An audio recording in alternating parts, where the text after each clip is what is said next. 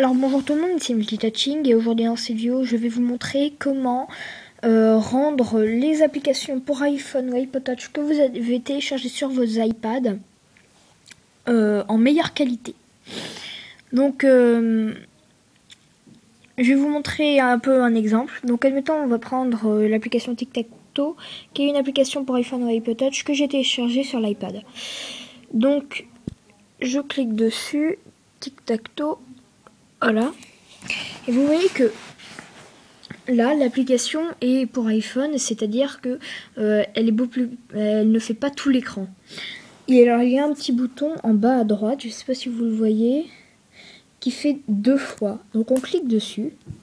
Et là tout de suite il y a une, qualité très très mauvaise, notamment euh, quand euh, sur le texte.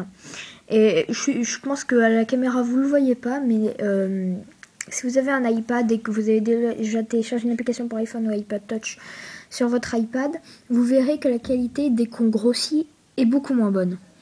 Alors, un développeur a créé un tweak pour, sur Cydia, qu'il a mis sur Cydia, qui permet de rendre euh, cette qualité beaucoup euh, meilleure. Donc, euh, c'est sur la source de Big, Boss. Et c'est payant à 2,99€ et ça s'appelle Retina Pad. Oups, excusez-moi.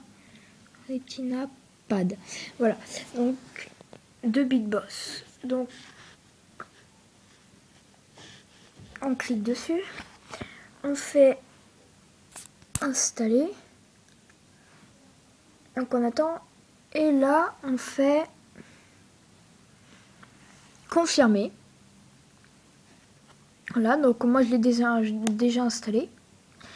Donc une fois que c'est fait, donc il faut que si vous avez le multitâche, vous enlevez votre application, euh, l'application Tic-Tac-Toe, Skype, enfin celle que vous avez lancée. Et dans les réglages, là je vais pas vous le montrer, dans les réglages, vous aurez, voilà, je sais plus où il est, j'ai plein d'applications, donc en bas vous aurez RetinaPad et vous allez activer euh, vous allez activer euh, les applications que vous voulez rendre euh, avec un affichage, avec un meilleur affichage. Donc là, j'ai déjà coché Tic Tac Toe. Donc, on va cliquer sur. Oula mince, excusez-moi. Tic Tac Toe, voilà. Et là, on voit que la qualité est meilleure.